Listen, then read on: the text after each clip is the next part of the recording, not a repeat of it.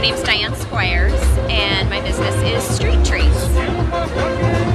And Diane, how do you use social media to help promote Street Treats? Well, right now we have a Facebook page and a Twitter page, and we update that every morning and every evening. Just letting people know where we are. We have a set routine, so some of our people know when to expect us, but other people don't know. Is that the only way that you communicate with people, with your customers?